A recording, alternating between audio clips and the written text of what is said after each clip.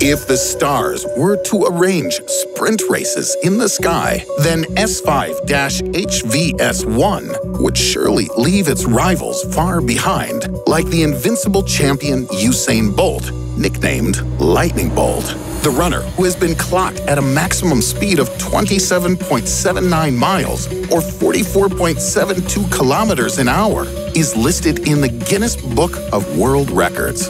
Only, unlike the track and field athlete, a hypervelocity star awaits not honor and glory, but loneliness and eternal wanderings in a foreign land. In fact, of course, in space, there are no sports competitions. But about the fate of the would be fastest star in our galaxy, everything is serious. At least such conclusions are made by scientists according to the results of recent studies. A group of astronomers led by Sergei Koposov of Carnegie Mellon University's McWilliams Center for Cosmology discovered S5-HVS1 by accident with the help of the Anglo-Australian Telescope, or AAT, a 12.8-foot or 3.9-meter telescope, and the Gaia Space Observatory of the European European Space Agency, they conducted spectroscopic imaging of the stellar streams in the southern hemisphere. At the same time, scientists were attempting to find interesting space objects in the Milky Way when they suddenly noticed a star moving in the Grus constellation at a speed of about 3.72 million miles or 6 million kilometers per hour. That is 10 times faster than normal. Now, S5-HVS1 is located just 1,000 light-years from Earth. This is very close considering the scale of our galaxy. Researchers were able to trace the path of S5-HVS1 back in time. It turned out that the star was flying from the center of the Milky Way, where Sagittarius A star hides a black hole. More than 30 years ago, Jack Hills suggested that black holes could eject a star from binary systems with an incredibly powerful force. The same scenario developed in the case of S5-HVS1, which was able to escape from the gravitational monster Sagittarius A star. This black hole is located in the center of our galaxy at a distance of 26,000 light years from Earth. Its mass exceeds our sun's by 4 million times. Like other black holes, Sagittarius A star attracts all known objects, including those that move at the speed of light. The light quanta can't escape this region. However, with the hypervelocity star, it probably works out a little differently. Under the influence of the gravitational force of a black hole, the binary system of stars decayed. The black hole swallowed one of the stars, but that star forced S5-HVS1 away from itself. Now, the star moves at a speed of almost 1,090 miles or 1,755 kilometers per second. Scientists suggest that this happened about 5 million years ago. At that time, our distant ancestors had just learned to walk upright. Since then, the star has been racing so fast through space that it's likely to leave our galaxy entirely at some point in the future. However, as it turns out, S5-HVS1 is not the only star to roam the universe alone. Astronomers managed to find other hypervelocity rogue stars. Finding them is no easy task either.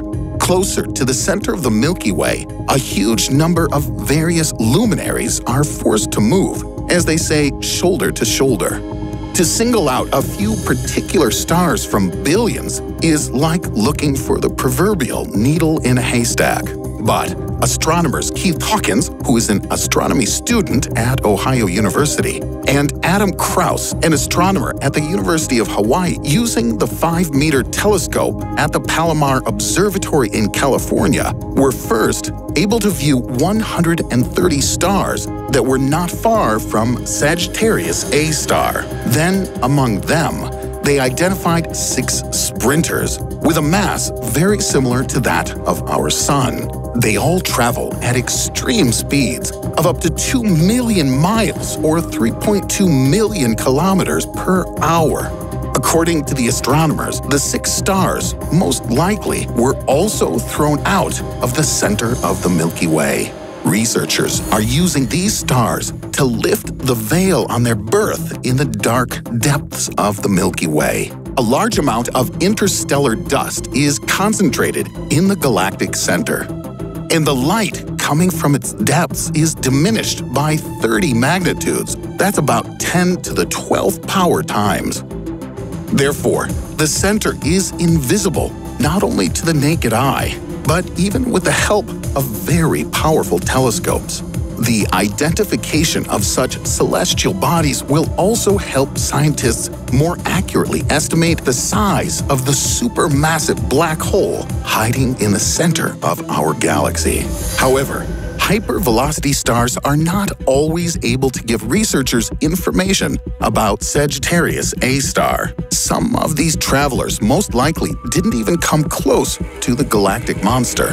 So, astronomers traced the history of the trajectory of the huge distant star LAMOST-HVS1, which is located at a distance of about 42,000 light years from Earth. They found that this giant started to accelerate from a location in one of the small spiral arms of the galaxy and not from the center of it. It turned out that it was impossible for Sagittarius A star to be blamed for forcing this star away. So, what then accelerated the star to such inconceivable speed? At first, the scientists decided that this was the result of a collision of Lamost HVS1 with several massive stars. But the path of this sprinter supposedly originates in the spiral arm of the Milky Way known as the Norma Arm. So, according to astronomers, a black hole could also be hiding there. Not a giant one, but one of medium size. It's likely that a similar space object is guilty of expelling LAMOST-HVS1 from its place of origin in the spiral arm of the Milky Way. Also, another 20 hypervelocity stars have been discovered that arrange super races across the galaxy. They belong to the orange and yellow dwarfs. That is, they're similar to our Sun. Presumably, they don't originate from the galactic nucleus, or AGN. Scientists have made a similar conclusion based on a study of the composition of these bodies. It turned out to be the same as that of other stars in the disk of the galaxy and differed from the composition of those born in the center of the Milky Way. It turns out that they are dispersed not by the black hole Sagittarius A star, but by something else. What exactly is still unknown. Furthermore, the conclusions about the extreme speed of all 20 stars need further investigation. Knows what discoveries scientists will make. Perhaps it'll turn out that these 20 stars came to us from some completely different location entirely. Researchers at the University of Cambridge, using a computer simulation, have hypothesized that hypervelocity stars often enter our galaxy from the Large Magellanic Cloud, or LMC. Their origin is explained by the decay of binary systems. The closer two companion stars are in binary stellar systems, the faster they rotate relative to each other. If at some moment one star explodes like a supernova, the remaining one flies away at the speed with which it rotated. Due to the fact that the mass of the LMC is only about 10% of the mass of our galaxy, the gravitational force there is much weaker a hypervelocity star can easily overcome its attraction and escape. To confirm their theory, the scientists modeled the life cycle of stars in the LMC over the past couple of billion years and revealed the effects of the birth of hypervelocity stars. Next, their path to our galaxy was calculated. When the calculation results were compared with observations, then everything came together. The actual locations of the hypervelocity stars exactly matched the places shown by the simulation. About 10,000 such fast stars, according to computer simulation, will eventually make it to our galaxy. But this is only a small fraction of those that were ejected from the LMC. The transition from one galaxy to another takes millions and even billions of years. During this time, most stars are likely to die, turning into black holes or neutron stars.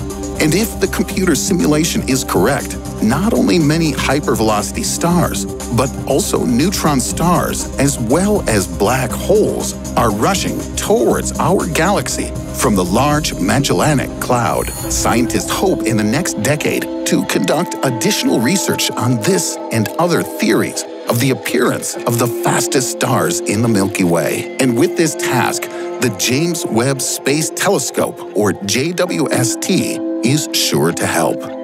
It should become an official replacement for the Hubble Observatory, which has been in orbit for almost three decades. And who knows, maybe the new knowledge about the star marathon will tell us how to accelerate spacecraft to achieve flight around the galaxy in the future.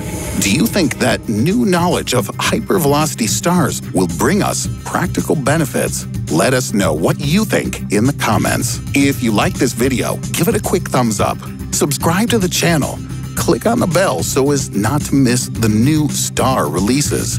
And don't forget to invite your friends. Together, it's much more fun to discuss all these amazing new scientific achievements. Until next time.